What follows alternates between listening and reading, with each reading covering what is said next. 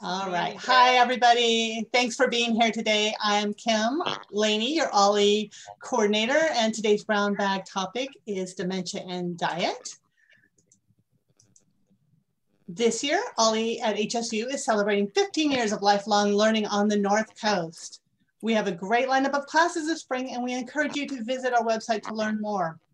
Throughout this year, we will continue to celebrate our 15 years with the many classes being offered at a low $15 fee for our OLLI members. If you're not a current OLLI member, please consider joining today to help us reach our goal of 1,000 new and returning members before June 30th. Over the past year, OLLI has transitioned to offering all of our courses and discussion groups online so that our members are able to stay connected while remaining safely at home. In addition to our brown bag presentations, Another way to stay connected with OLLI at HSU is to attend the discussion group Let's Connect with Tracy Barnes Priestley. All of our brown bag presentations are made possible by the Friends of OLLI. Thank you. Please help us continue to provide these excellent free community presentations by making a donation to OLLI at HSU today. Here's the contact information for OLLI. And the best way to contact our office is via email. And quickly, before we get started, I wanted to remind you that when signing up for classes, it is helpful if you register um, early. During these busy times, there may be a delay due to the volume of people signing up for classes, and we wanna make sure we get you in your class and the meeting link sent in a timely way. Thank you. Following today's presentation, we will make the recording available on our website please navigate to the brown bag presentation page and find the link to, um, to the video archive to locate past presentations that are available. Um, once again, thank you for staying connected with OLLI at HSU. We're ready to get started now. And if you haven't already muted yourself, please do so. Um, we will take questions at the end of both presentations. So hold on to your questions um, or you can put them in the chat and we will pick them up at the end of the um, presentations. Again, thank you for joining us today. And Jane, go ahead and introduce our, pre our presenters. Thank you. And it's my pleasure to introduce both Caroline Connor and Heidi Collingwood. Caroline has been a family physician for over 28 years and has been a migraine specialist for most of that time. She's actively engaged in educating the public, like you guys, local physicians, and other medical personnel about all aspects of medicine, but especially about migraines, nutrition, dementia, and immunization. She's on the executive board of the Humboldt Del Norte County Medical Society, focusing on recruitment and retention of physicians in our area, and most recently re received an award, um, which maybe you saw in the paper in the Times Standard. Heidi is, in short, an entrepreneur. For close to 40 years, she's been a small business owner of for her own of her own salon. With a passion for health and business, she became a sales coordinator with the Juice Plus company over 24 years ago and recently became a certified health coach with the Dr. Sears Institute. Dr. Sears, if you're not familiar with him, has written multiple books on inflammation and other related subjects. In her heart, she is First, a mom who enjoys inspiring healthy living in her own community of Humboldt County and desiring to spread that gospel globally. Lecturing, holding group, group sessions, and educating people on the four pillars of health, of lifestyle, exercise, attitude, and nutrition. She strives for all around wellness. She just completed the family's pregnancy and seniors portion of the Dr. Sears program and is now a certified health coach and a certified laughter yoga leader. So we're going to start with Caroline, Dr. Connor. Thank you. Your turn. Hi, everyone. Nice to see you. Especially hi to all my patients out there who I see their beautiful faces.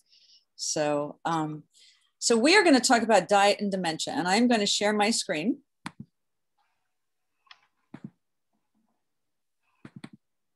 Can everybody see? Yes. Okay.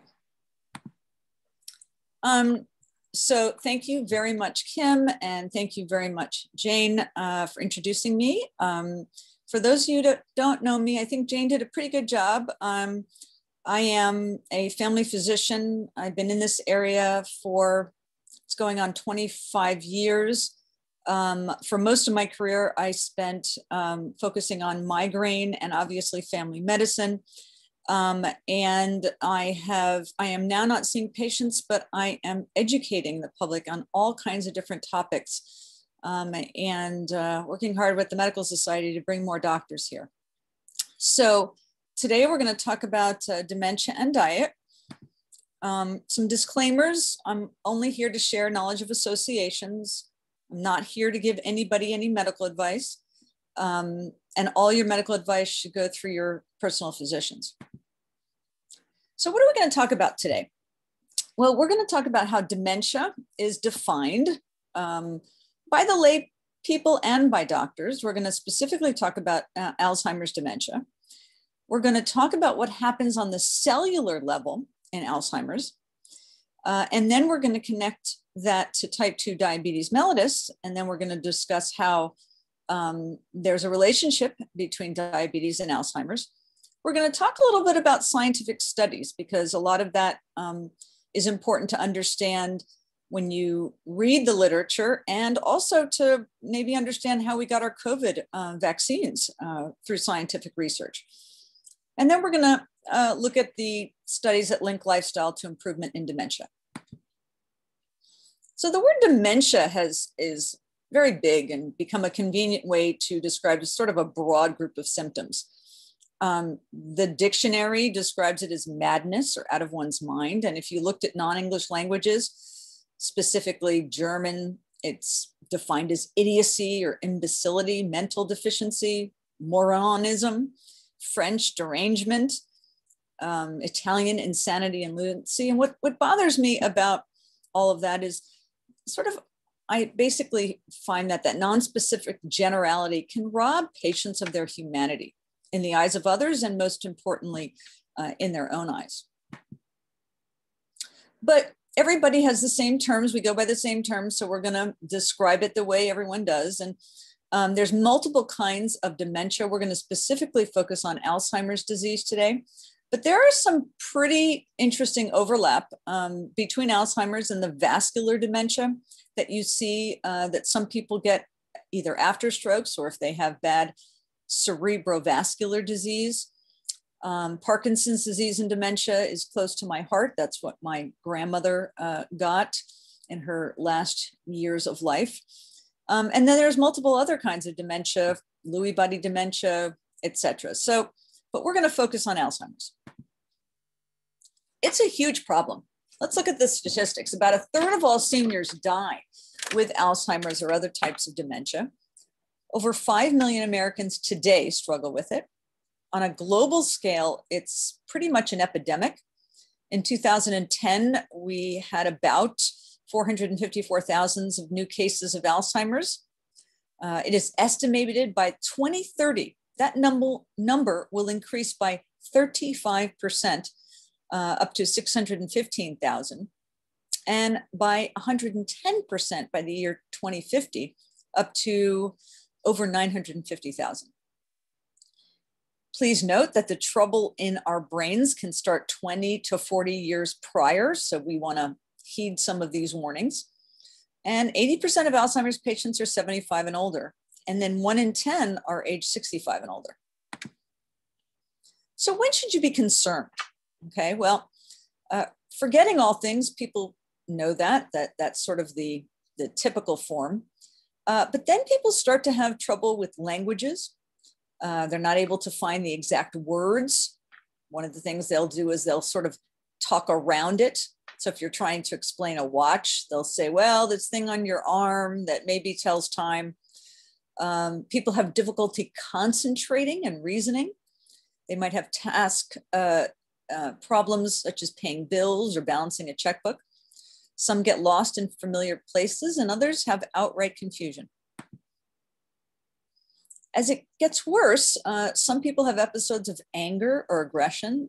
They'll start being delirious. They don't, they see things that aren't there.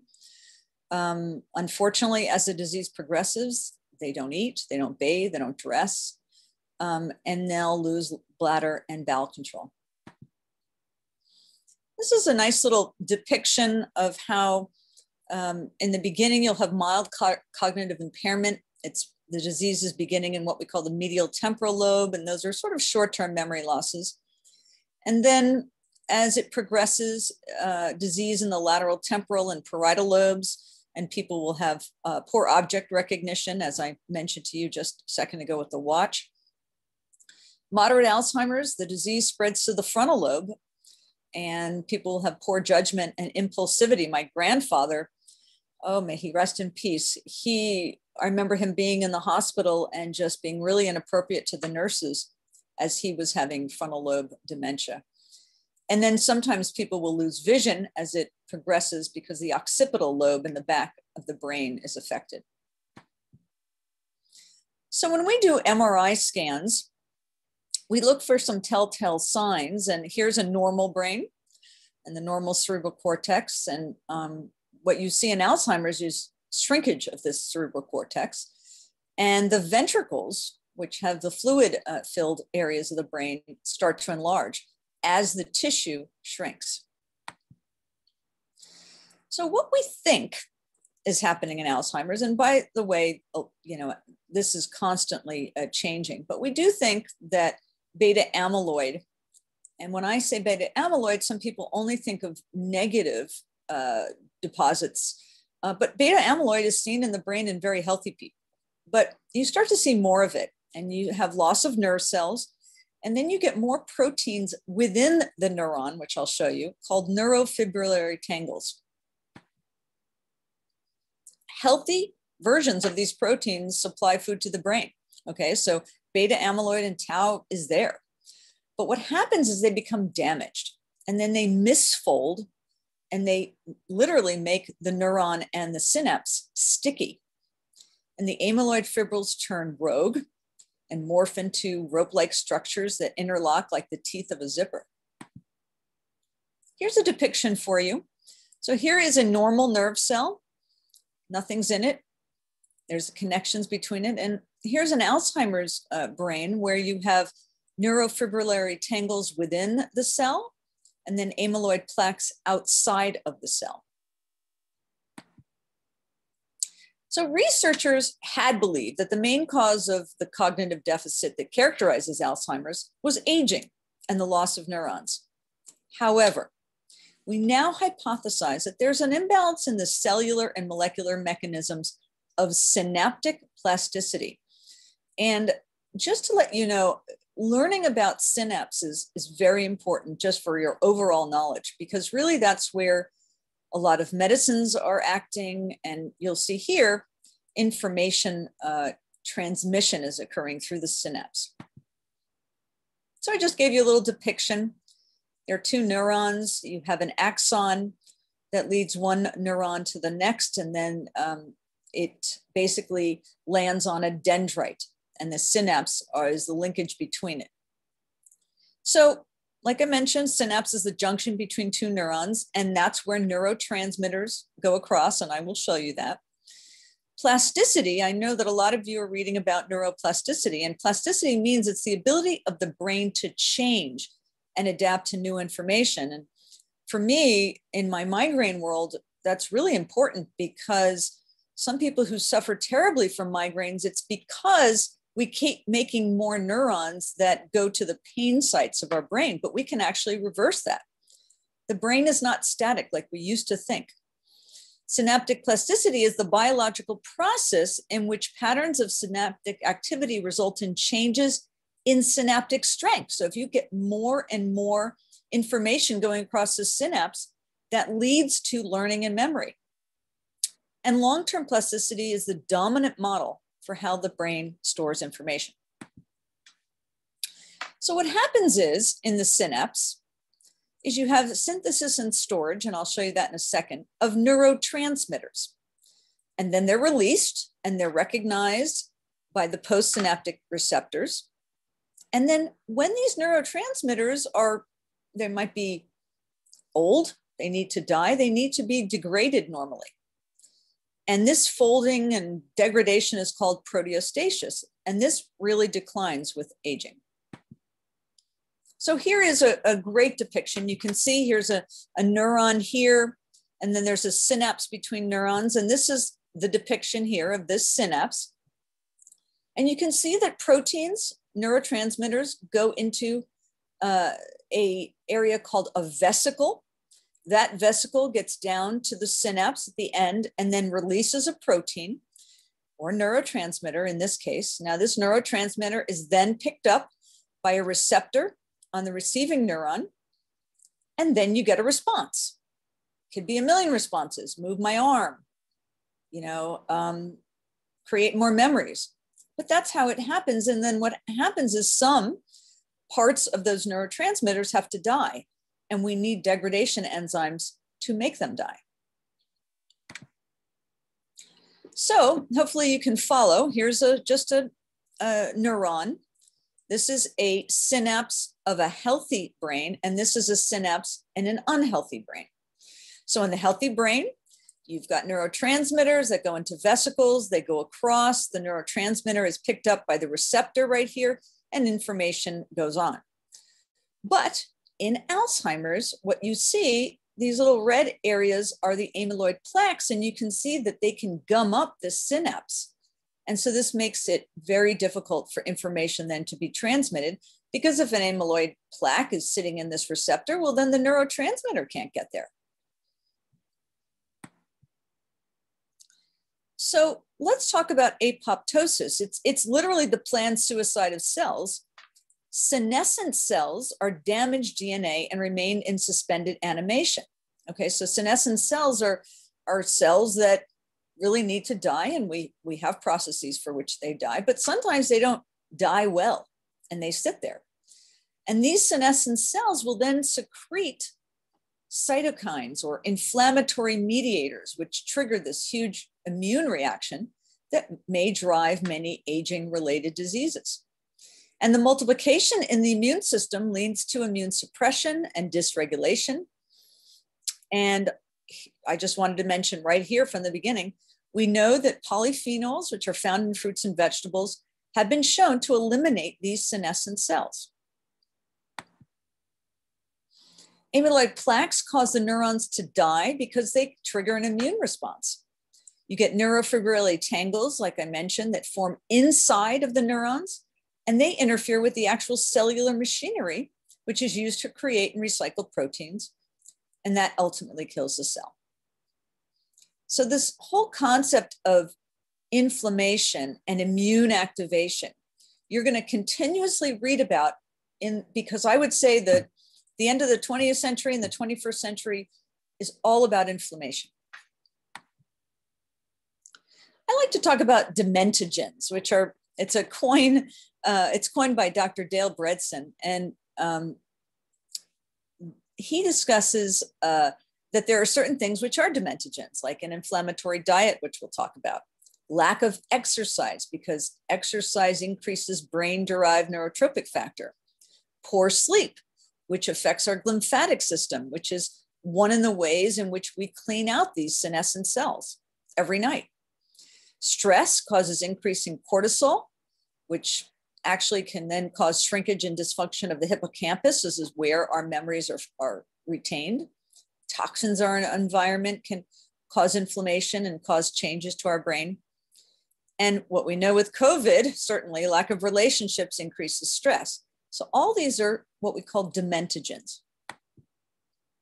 So functional medicine likes to talk about lifespan versus health span. Um, and we know that there are no proven ways to prevent dementia. And I'm going to explain that to you in a second.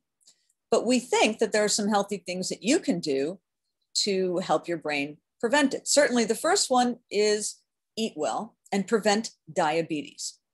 Physical activity is important, social interaction is important, sleeping seven to nine hours per night is important, decreasing your stress, keeping toxins at a minimum, um, getting a healthy microbiome, which is the bacteria in your gut, which needs to be healthy, and even your beliefs and thoughts will increase your lifespan and health span.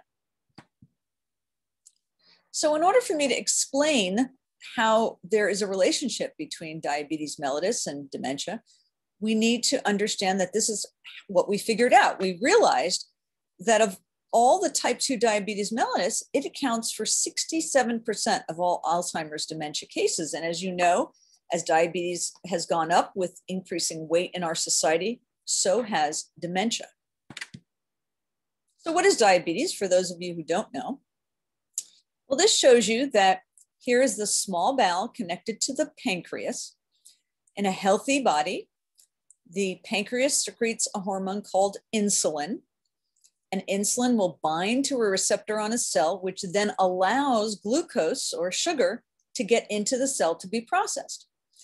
If you have type 1 diabetes mellitus, which is a autoimmune disease that occurs because you had a virus that attacked the pancreas, it pro- does not produce any insulin and therefore no glucose can get into the cell. In type 2 diabetes mellitus, which is usually occurs um, uh, with people getting more and more overweight, you have a secretion of insulin, and you can secrete all the insulin we want, but unfortunately, the glucose still doesn't get into the cell because it's for failing to respond to that insulin properly. That's called insulin resistance. And this depiction shows you that in a normal, healthy artery, we have glucose and we have insulin um, that is then able to get through the artery and uh, into the cells. But in insulin resistance, all you have is sugar and you have uh, insulin uh, going through the bloodstream and you pee it out. And this is how we check for diabetes. We do a blood test and we see, oh my God, there's quite a bit of sugar and quite a bit of insulin in here. And you can see a lot less going into the cell.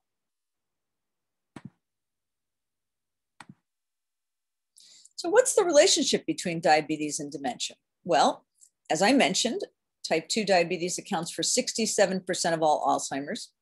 High blood glucose causes damages to tissues. You see it in heart disease, and you certainly see it in uh, vascular uh, disease in the brain.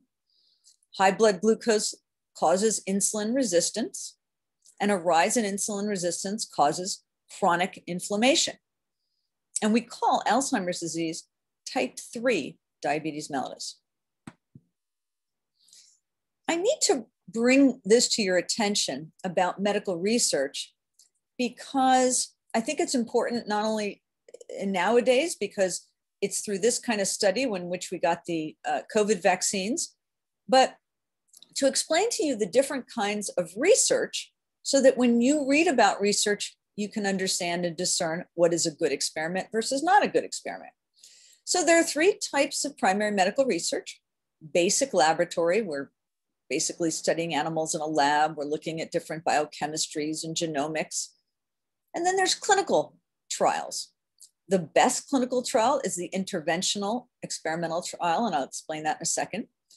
And we also have multiple observational styles, uh, uh, trials, excuse me, where we give therapies or we look forward or we look backward and see how people did. And then there's all kinds of epidemiological studies. So types of clinical research. There's applied research, which is aimed at solving practical problems. And then there's observational. And a prospective study is looking for relationships between lifestyle factors or environmental exposures and the development of diseases. So basically, um, we're looking ahead but then there is a lot of uh, studies in which we do retrospective studies, uh, which we rely on study subjects who've already had a disease. And then we look and compare them to someone who didn't have the condition, and we figure out is there a difference between them? But the best type of trial that we have are ran, well, I should basically say randomized double blind controlled trials, where we basically take two different groups of people at random one gets a therapeutic intervention. So, for instance, in the COVID trial, one got a COVID uh, vaccination, the other one didn't. And then at the end, we assess the impact of that intervention. Both the person who's receiving and the person who's doing the research are blinded. They do not know which they got. So you don't get any bias. So conducting um, clinical trials on research specifically is very difficult. um, it's almost impossible to conduct a traditional double-blind controlled trial um, because we can't use true placebos when you're studying essential nutrients. You can't really deprive people of nutrients. Foods contain a staggering number of different biomolecules. Consumers have underlying genetic factors. And it's just a practical issue that basing a nutritional study on people's honest recollections of what they ate is very difficult. So when you look at this and you look at the literature after you leave my, my talk, you'll see there's really no randomized controlled trials, but we do have lots of information from mouse models and we have lots of information from retrospective studies that correlate markers of inflammation with diabetes and neurodegenerative diseases. And we've just done a, a whole bunch of several studies uh, to with the concept of brain food. What are the best brain foods? But conclusive evidence is still lacking, and you need to understand that as I was doing research for this, I learned about the Global Council on Brain Health, which was created in 2016 that brought together 94 experts from 23 different countries and 80 universities and organizations to reach consensus on the state of this science. The Global Council has produced a library of reports distilling evidence on how lifestyle and modifiable risk factors impact brain health. And one of the most important people involved is uh, Dr. Martha Clare Morris. She's since passed, but she was professor of epidemiology at Rush in Chicago and the director of the Rush Institute for Healthy Aging and was a founding member of this Global Council on Brain Health. She wrote a book, if you're interested, called Diet of the Mind.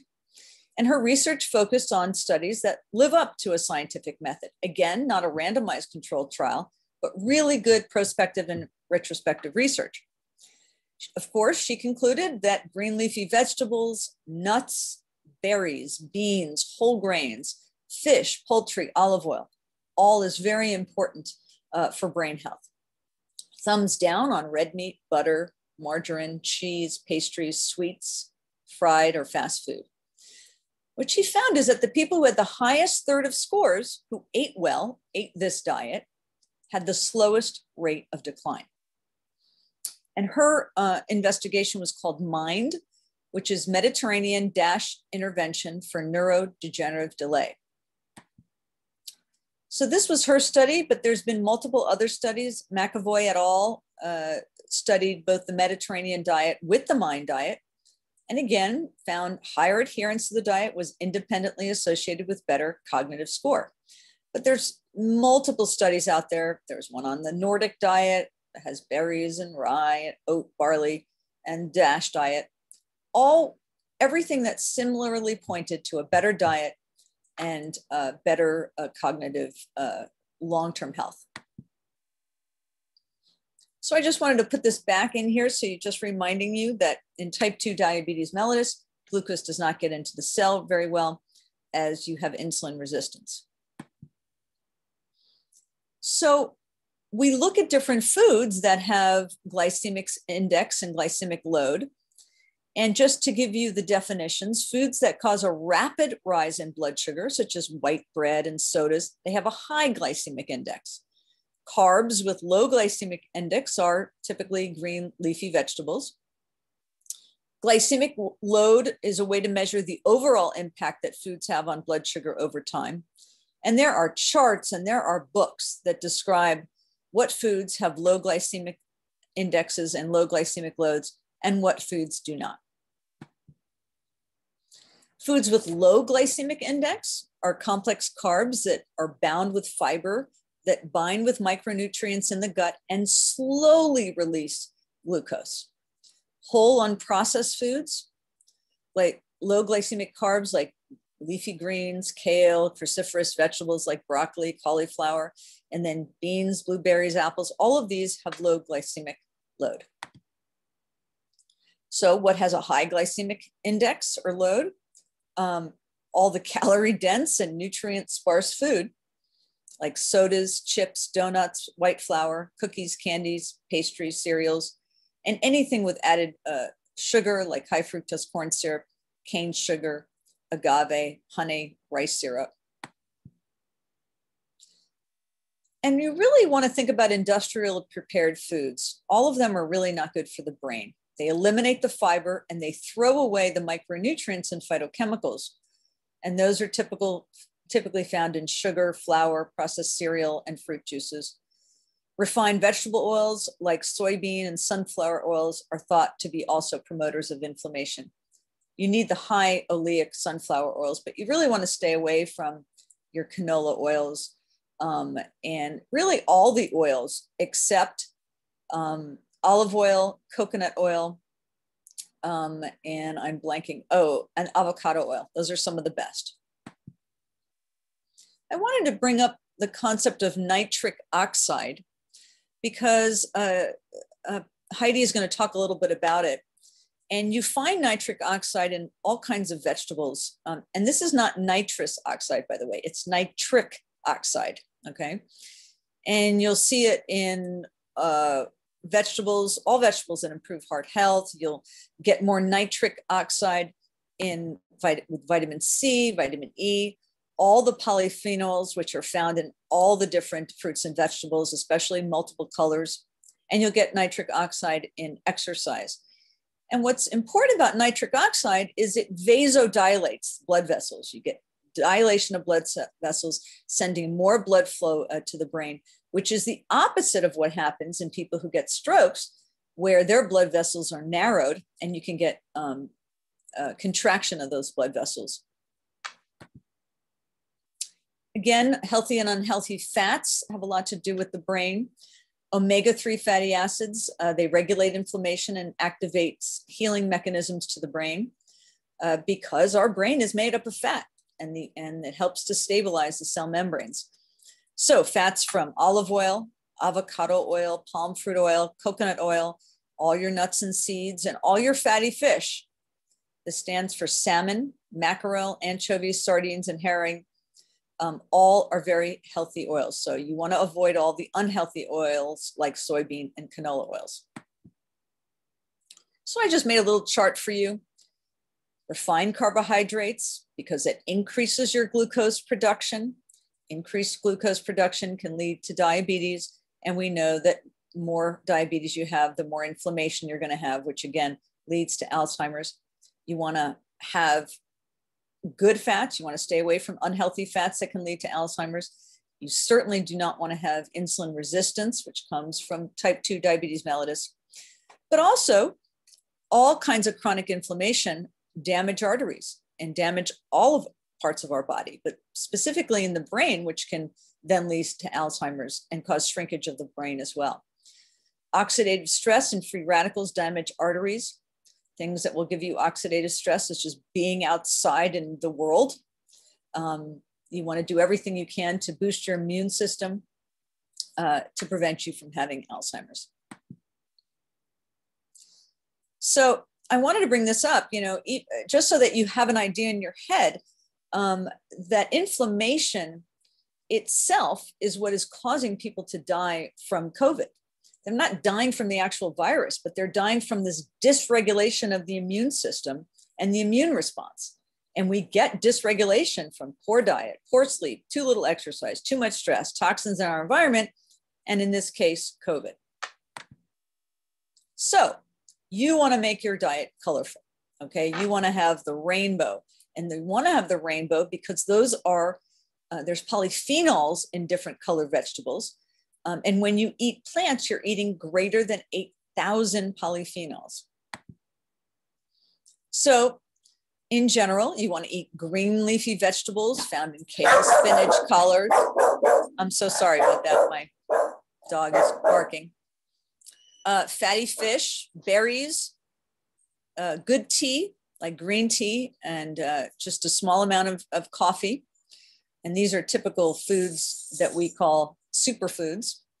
Your nuts, including walnuts, which is the best nut to eat, all your berries, uh, green tea, certain spices like turmeric, all your green leafy vegetables, good olive oil, good coconut oil. And so I want to leave you with this. You know, we can't change our genes, but we can change how they are expressed. And genes are just a recipe for making proteins and other body chemicals. Bad genes are like a loaded gun that never has to go off if you have a good lifestyle and in good environment. And so again, I want to leave you today that your DNA is not your destiny. You know, when I was thinking about um, my grandparents, I was very worried I would, you know, be at risk for Parkinson's disease and be at risk for dementia. And uh, now I really know that it, that really I can make a difference and change things. Okay, so I'm going to stop sharing and let Heidi take over.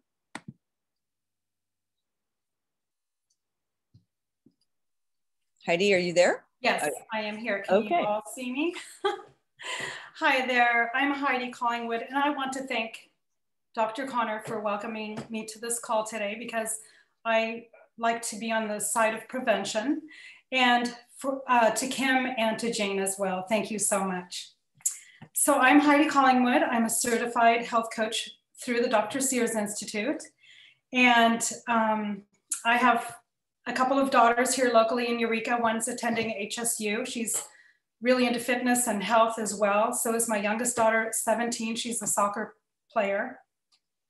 And I've always been interested in health. My grandmother, um, I'll never forget going to Florida and visiting her, and her fridge was full of vitamins. And I didn't understand why people kept vitamins in the refrigerator. But uh, in Florida, you kind of have to do that. Anyway, in my late 30s or early 40s, I experienced some inflammation in my body. And I'm a hairstylist so it, it did partially have something to do with chemicals, but it also had a lot to do with stress. And so I decided to take my journey deeper and look more into prevention and nutrition, mindfulness meditation, um, self care, and the benefits of laughter yoga. So, as you can see, I'm a laughter yoga leader, and we're doing laughter yoga regularly, almost every day now, especially during COVID. And that's a wonderful stress buster. So anyway, today I'm going to introduce a scientific plan through Dr. Sears about how we can feel younger and live a longer, healthier life. And I'm going to attempt to share my screen here.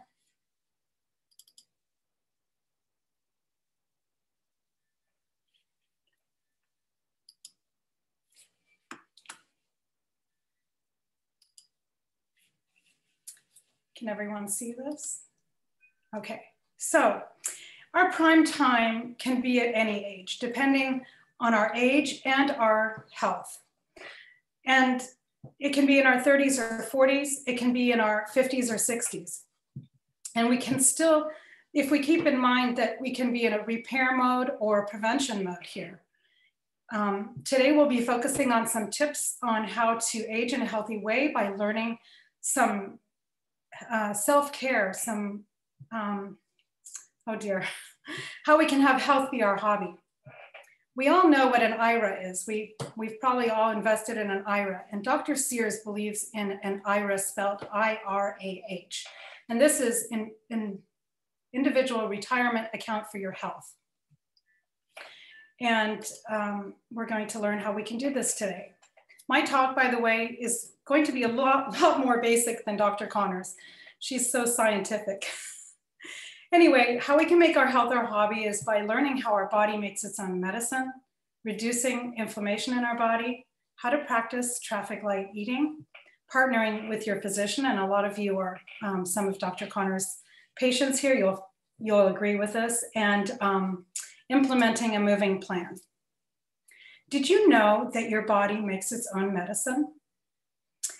And in 1998, um, Louis Ignarro, PhD, received the Nobel Prize for discovering how our body makes its own medicine. And I'd like for you to guess where it is, where it's located. You can write it in the chat if you'd like, or you can, um, anyway, we can talk about this later too. So as you can see, it is in our endothelium. Our endothelium is the lining of our blood vessels, and they are about one cell layer thick.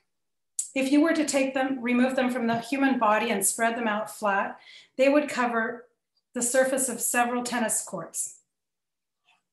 And this is just amazing how these tiny little millions of microscopic prescription medica- uh, bottles containing this metabolically active cell. It's your body's internal pharmacy. It is open 24 hours a day, seven days a week.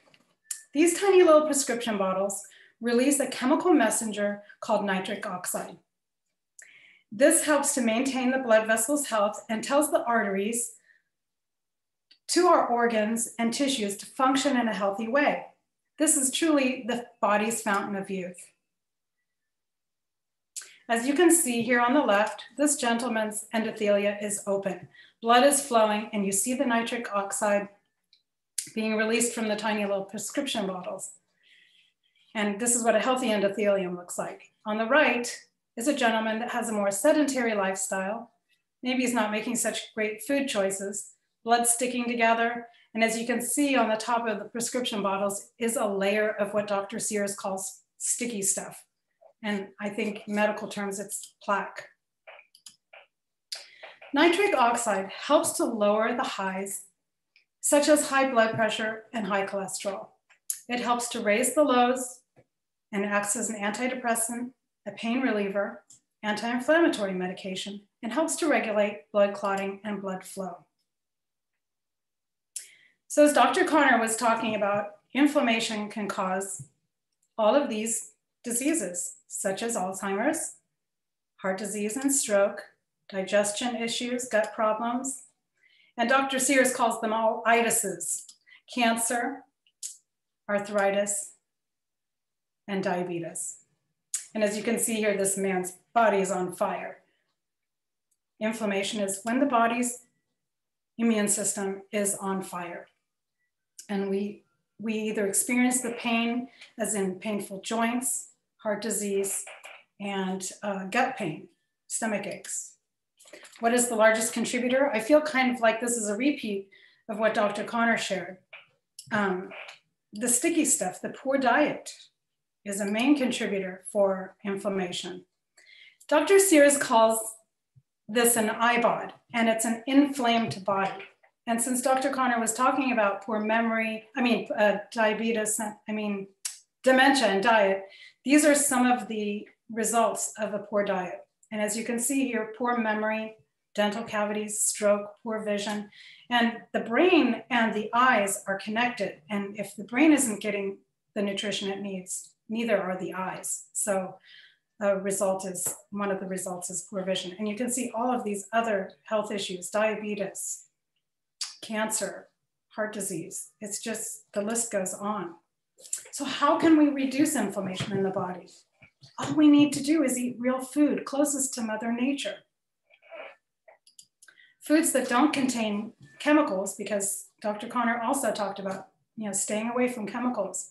So eating organic whenever you can, staying away from foods that are loaded with pesticides, herbicides, GMOs, and um, food that is grown closest to its natural state on a farm or swimming in the ocean.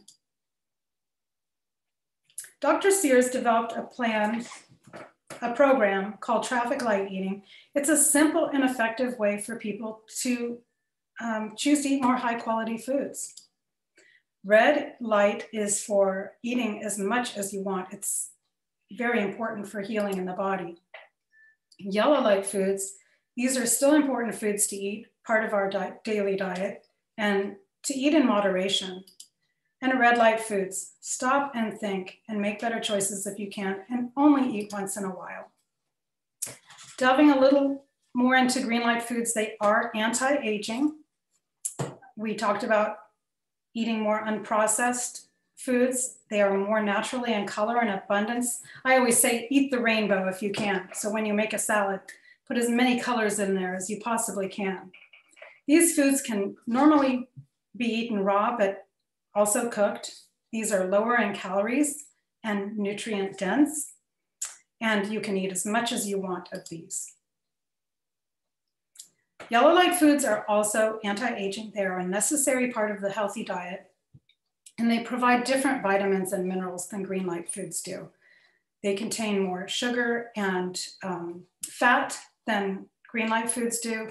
And Dr. Sears calls these type of foods or right carbohydrates, where you eat whole grain bread and pasta and yogurt, nuts, low fat cheese, and lean meats and fish. Red light foods will age us. They are high in man-made fat, they are low in protein and fiber, they are highly processed, and they contain such ingredients as high fructose corn syrup, hydrogenated oils, artificial flavors and colors, and chemical preservatives. Dr. Sears calls these excitotoxins, and also artificial sweeteners are in that category as well. These contribute to inflammation and unhealthy aging. They are included in packaged foods and fast foods. What types of foods should we be eating? Dr. Sears calls these the four S's. Smoothies and salads are a great way to add antioxidants, which are found in fruits and vegetables, rich in color. These will help reduce the sticky stuff that we were talking about that causes inflammation and disease. Nine to 14 servings, you might wonder, why so much? That's because our food system, our food is depleted. Uh, a, a head of lettuce or a bag of spinach does not have the same nutrition that it did 10 or 20 years ago. Spices are another um, ingredient that we can add to our food to help reduce inflammation.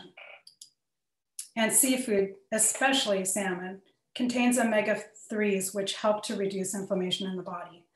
And this helps improve endothelia function, which also helps increase the nitric oxide in the body. Dr. Sears suggests give yourself an oil change. And Dr. Connor talked about these fats too. These come, these come from their natural sources. Omega-3s from salmon, olive oil, walnuts, and I love how the walnut looks like the brain, and avocado oils, and stay away from more man-made fats and um, some of these fried foods. Now, most of you will agree that Dr. Connor is this type of doctor. She had, has wonderful relationships with her patients, and this is truly important to have an excellent relationship with your doctor or your physician. It is a win-win. When you go into the doctor's office with the mindset of, doctor, what can I do? Instead of, you know, what kind of medication can I take to cure this disease. And sometimes there are diseases where we cannot, we have to recommend um, medication, where the doctor also has the mindset, what can I advise instead of what can I prescribe? And one of the things that a doctor will prescribe is exercise. Exercise is an, a super way to help with disease prevention. And our waist size, as Dr. Connor talked about, is a true indicator of our overall health. And although, you know, it is um, common for us to gain weight over time and as we age, that is completely normal. And the difference between movers and sitters, as you can see, will help reduce the risk of getting Alzheimer's. And you'll have improved vision, gum health, healthier glowing skin, stronger, healthier heart, better gut health, as Dr. Connor talked about, and joint health. And if you think of movement as your daily medicine, it's much easier to do. So the way to do this is to develop an exercise routine. And with gyms being closed, one great way is to start your own home gym, buy some dumbbells and start moving strengthening, um, strength conditioning, such as weightlifting, just purchase yourself some dumbbells and um, it helps to reduce the belly fat and helps to strengthen our bones and muscles. The second component is endurance exercise. This is great for the brain and also for the heart. Walking fast fits in here too, as long as you know you do it safely. Running, swimming, or cycling. Yoga and Pilates are a wonderful addition to this little routine here because flexibility is something that we lose as we get older and balance as well. So this is also great for preventing pain, arthritis pain. So remember, exercise is the primary way to increase nitric oxide into your body. Make sure you develop a fitness routine you enjoy and make sure that it's an exercise that you'll enjoy and do that you'll also do. Make time each day. I like to put it in my uh, planner every day. And 20 minutes a day can be a walk around the block, six days a week. Keep it interesting and fun, I say. and uh, isometrics are something that you can do anytime, anywhere, on a plane, in the car, watching a movie. Of course, check with your doctor first. Start low and go slow. And choose to move instead of sit. Keep it safe and make it fun. These are the things that we covered today, how our body makes its own medicine, how we can reduce inflammation, traffic light eating, partnering with your physician, and implementing a moving plan. The choices we make today will affect our tomorrows. Investing in our health and having health be our hobby is a great way to have a healthier, happier life.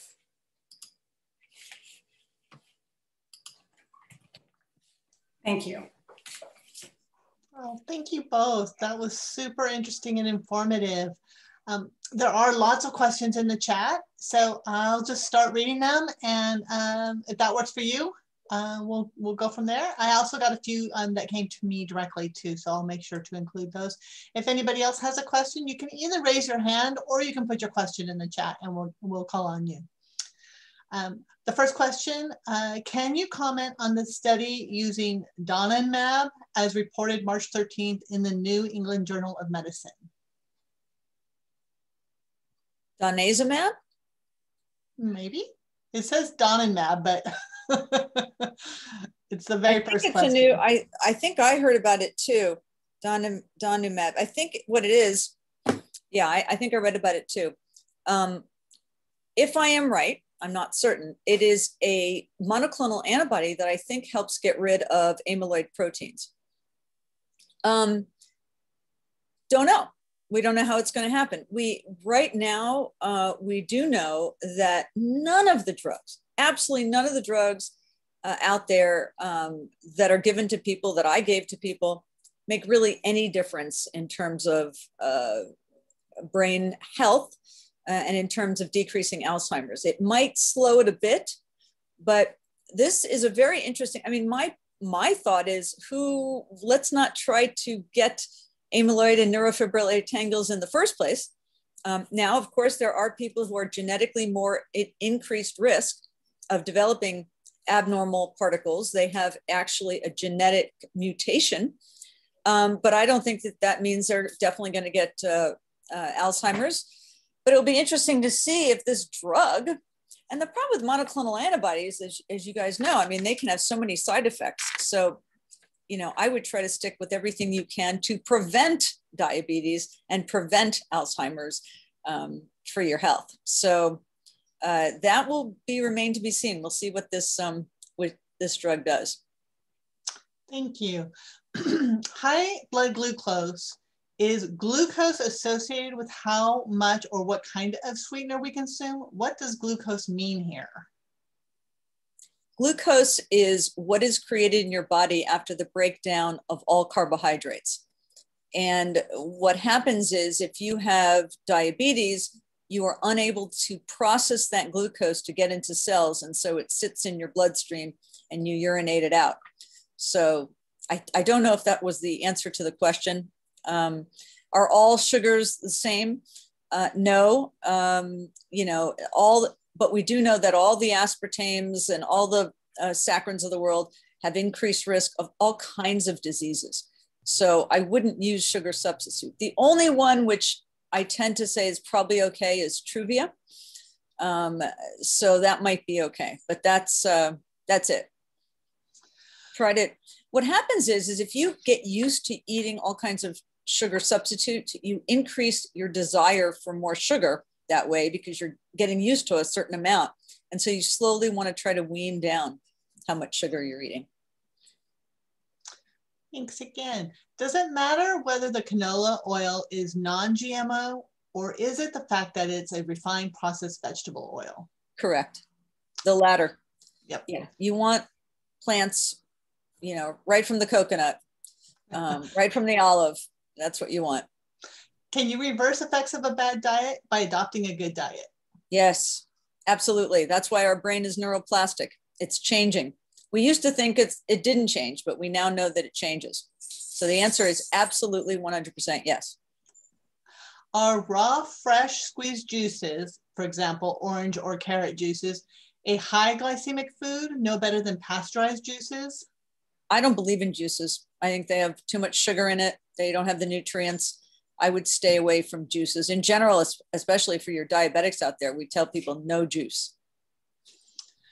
All right. What are our options in Humboldt County for rehabilitation and treatment of dementia? And then also from the same person, what are the newest discoveries about the disease and how will this further treatment and rehab?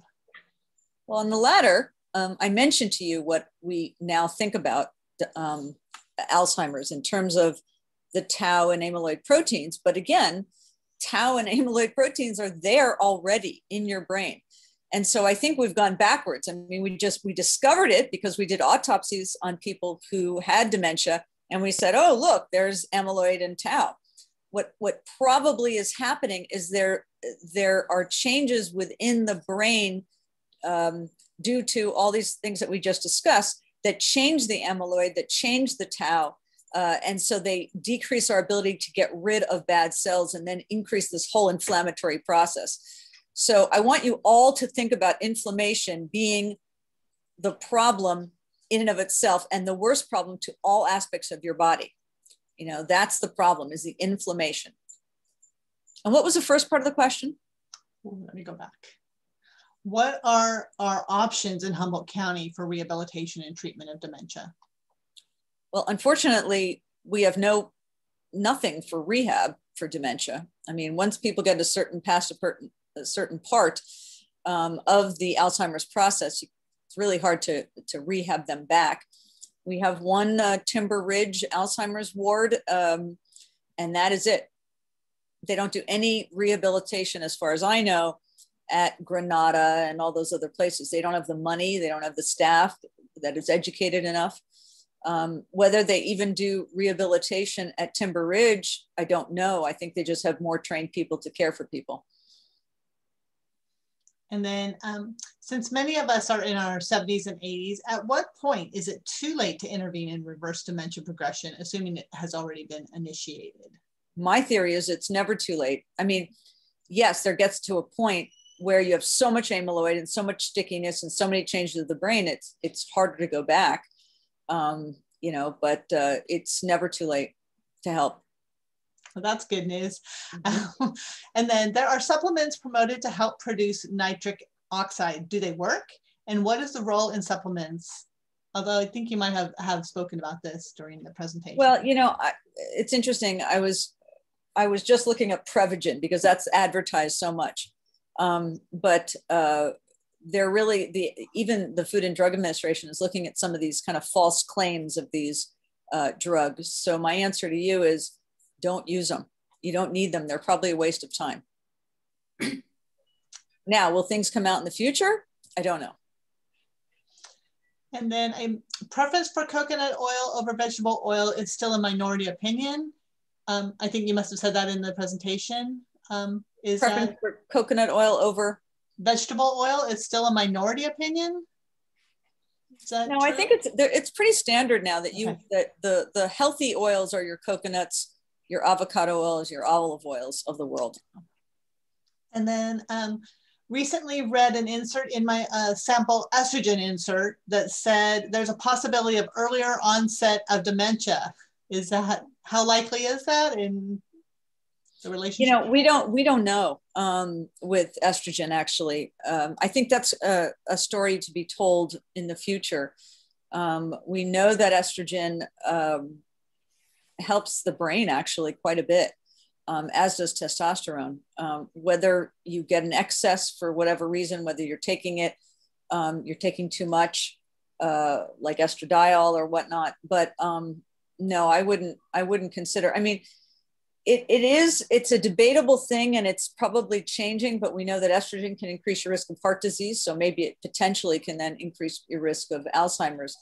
Um, but I don't think that has been studied in terms of looking, doing a randomized controlled trial with everybody who is taking estrogen versus people who are never taking it. Um, I've never seen that study. Uh, maybe some other physician has.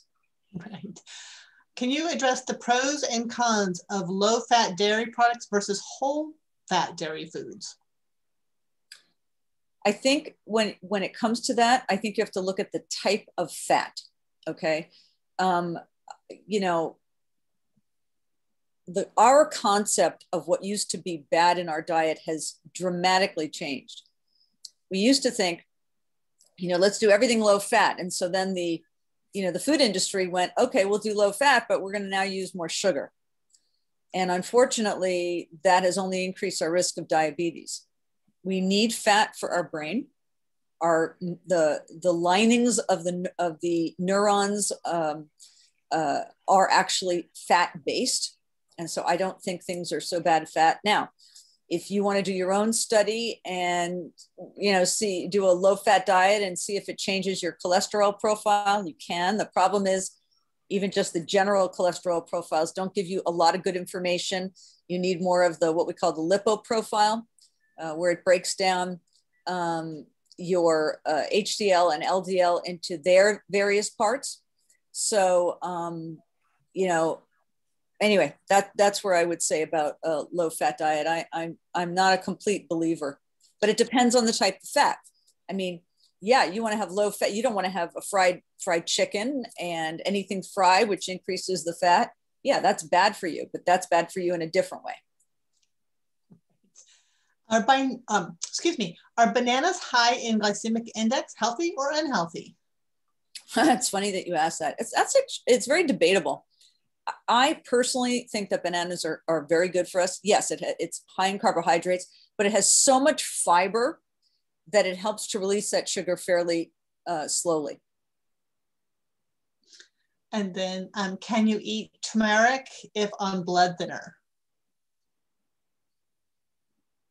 Um, I can't exactly answer that. I still think there's nothing wrong with adding some turmeric to your diet. We, it's those are not things you know the things that we think about in terms of like if you're on coumadin specifically and not the other blood thinners uh, a lot of the green leafy vegetables um, can change your level of uh, coumadin levels. So um, you got to be careful with that. Now turmeric? Not that i know of. Got it.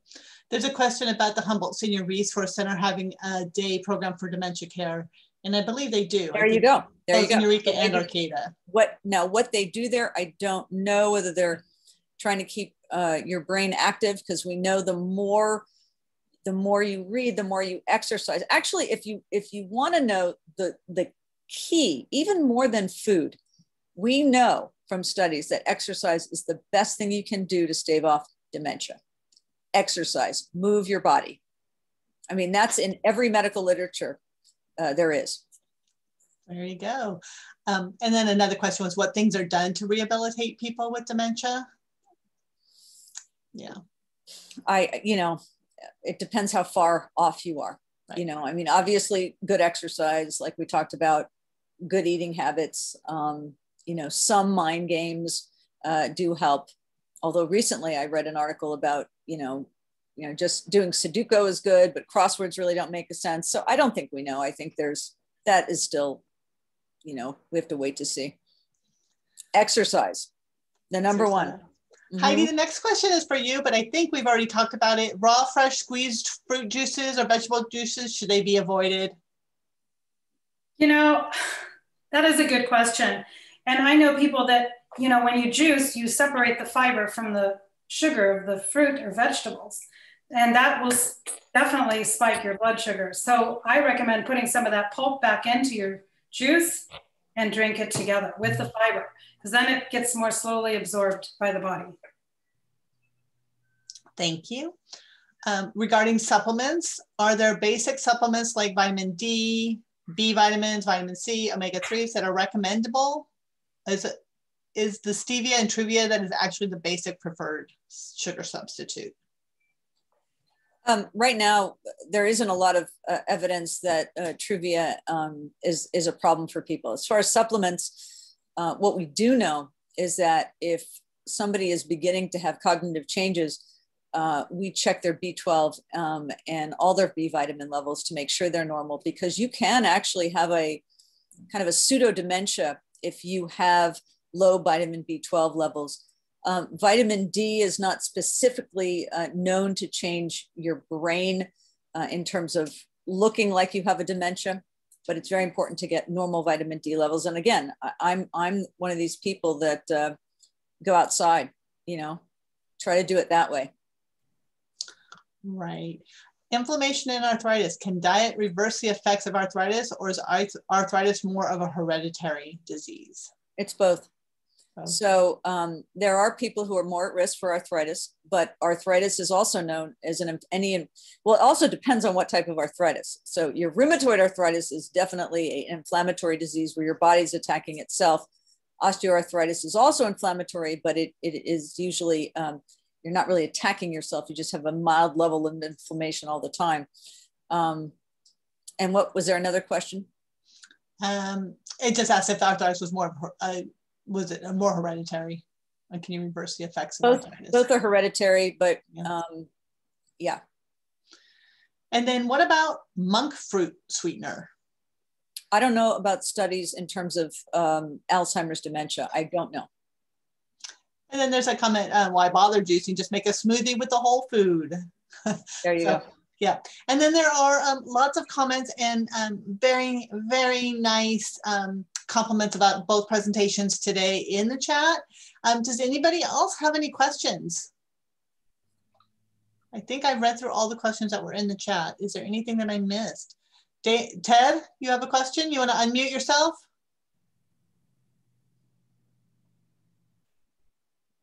Uh, hi, Ted. Hi.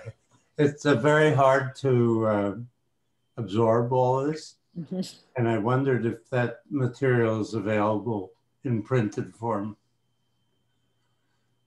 Kim, you want to?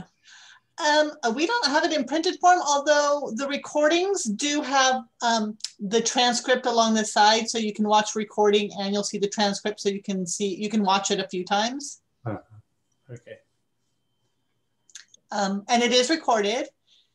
Um, and the recording, there's a question in the chat. You can find the recording on the OLLI website. If you um, navigate to the brown bag um, presentations, there's a link that says to archives, and that's where the recordings will be found. Typically, two to three days after um, a presentation, we try and get that up there.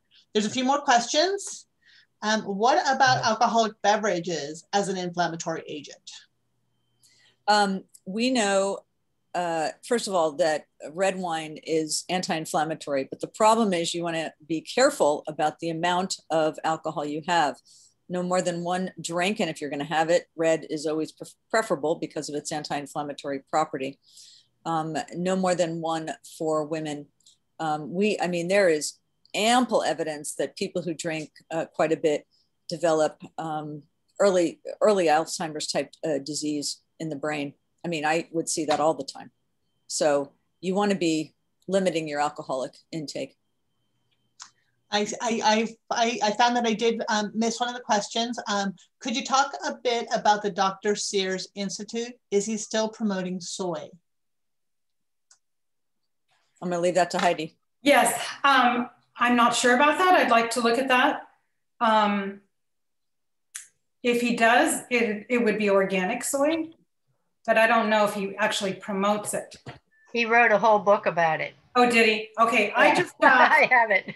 okay, I just have, you know, I've been learning from, in the fall, I learned from Primetime Health and we learned about um, making healthier hobby, which I can also do in group sessions, removing waste from your waist, um, making your own medicine, which goes in more into detail about uh, nitric oxide and living without pain and inflammation. These are like uh, six week course that can be done on Zoom or it can be done one on one on Zoom right now with COVID. So learning more in detail. I mean, that the presentation I did was just a real um, short little sneak peek at what there's there's more to this. So yes. Right. Just touching on what's out there. I have not read all his books. There are 45. I bet Dr. Connor has though. no, I have not. No. Oh, God. he's a very intelligent man. He's um, he is actually what convinced me uh, to end up going on Juice Plus many years ago. But um, he also believes uh, in his books on child rearing were the best. So I give that as a present. It's called the baby book. I give it as a present anytime anybody has a child. Oh, there was a question in here by Deborah Strom. Are cereals made with whole grains? Oh, okay. She sent that. I think she sent that to me. Um, the answer with cereals is it depends on how processed they are. Um, and again, anything that's processed really would be better to avoid them. Um, now, if they're processed with good, like pea protein um, and all the omegas and flaxseed and all that, you know, you're just weighing how high your sugar might go if you eat a fair amount of that carb all at once uh, versus what's in it. So, um, uh, the one cereal that I like and I tell people to have is, is steel cut oats. Those are excellent ways of um, getting a whole bunch of fiber. Um, and oats in general can be very, but the problem is like things like oats in granola have a ton of sugar and that's not good for you. Mm-hmm. So, but steel cut oats are excellent source of, of uh, fiber. If I can say, if there's a, a balance of protein, fiber, and um, less sugar. Mm-hmm. So the lower the sugar in the cereal, the better. Right. Absolutely. I also wanted to add that um, we do have a couple of other classes coming up. Um, Dr. Connor is teaching a class on um, an update on immunizations and also understanding migraine headaches coming up in the next couple weeks. And we also do have a pre-diabetes class with Carlisle Douglas that's coming up in a, in a week or so too. So those are all, th you know, all three of those are really great classes to continue this conversation. And I asked if you can reverse autoimmune arthritis if it's already set in. Uh, every single autoimmune disease can be improved uh, by eating well, exercise, all of that, because it's all decreasing your inflammatory response. But if you actually have the the arthritis, the the accumulation of calcium in the joint, right? It's very, it is it is very hard to reverse those changes once the joint not only changes. I mean, your, your point is excellent. What is the whole reason that we're now giving monoclonal antibodies to people with rheumatoid arthritis is to prevent those deposits that end up in the joint that change the way the joint moves. Um, so we want to start on those early as possible, but you also want to start early as possible everything anti-inflammatory. But, that makes sense. But is the only resolution then to go in and clean out the the extra calcium whether it's in your knees, your hips, or your back? There's no way to get rid of that. No. Right. Other than, yeah, potentially having surgery. Yeah. There's another question. Um, what about eggs? Yay or nay? It's debated, but, um, you know, again, uh, eggs have lots of, you know, lots of good protein in them. Um, that whole concept of not having the egg yolk, I think, is going down the drain where we recommend eggs. Um, again, this whole, this, I mean, when I went to medical school, it was a low fat diet. Don't eat eggs. You're going to get high cholesterol. I mean, the things that we thought back then are just not true anymore. So yeah, I think you can eat your eggs. All right. Any other questions? I, I There's, I, um, Mandy? Yeah. I'm Mandy. I had um, a small bowel back bacterial overgrowth earlier in life. I've had stomach problems forever.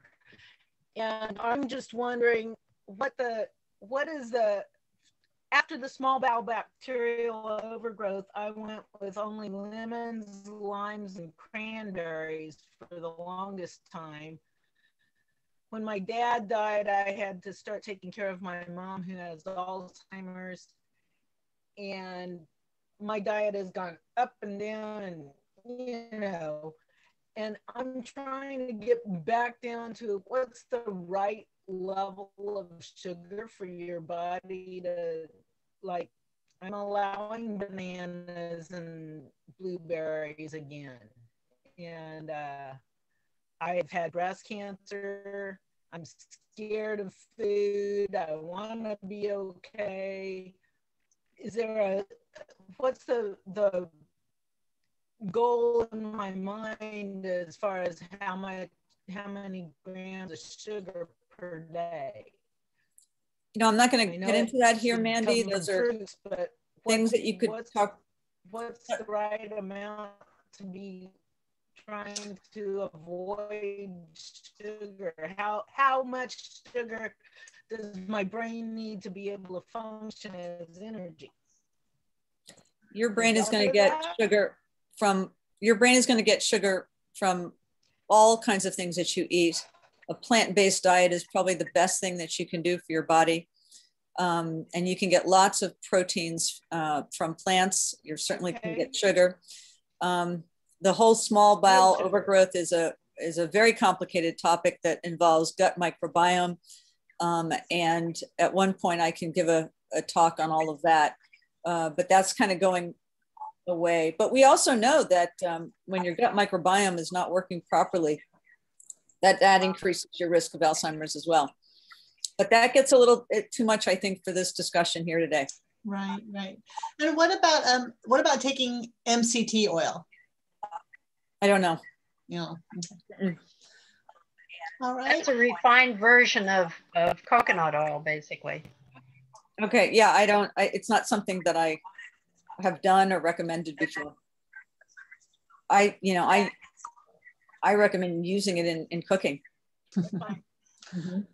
All right. I, Go ahead, Heidi. Oh, I just wanted to say that um, Dr. Sears does recommend L-arginine, which is an amino acid that, the, that healthy adults can take. And um, he even has a dose on here, but I think that that would be something that people would talk to with their physicians, with their doctors, of course. And L-citrulline. So those are two, that was answering a question about supplements. But mainly nose breathing, meditation, laughter.